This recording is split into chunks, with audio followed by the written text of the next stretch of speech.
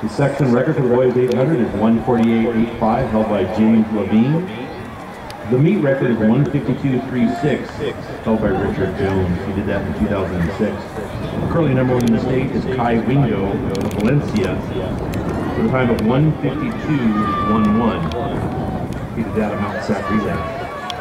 This is first heat for the boys, 800 meter run.